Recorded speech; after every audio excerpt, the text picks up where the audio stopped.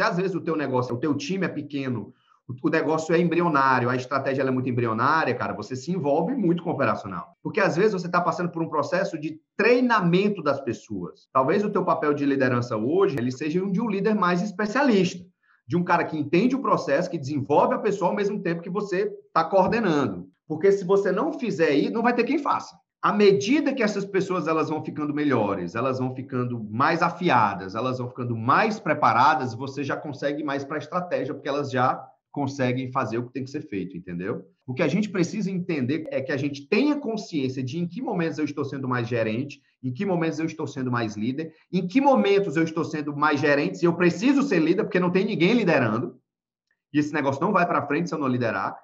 E eu preciso de outras pessoas que venham gerenciar para que eu possa liderar, porque eu não estou liderando.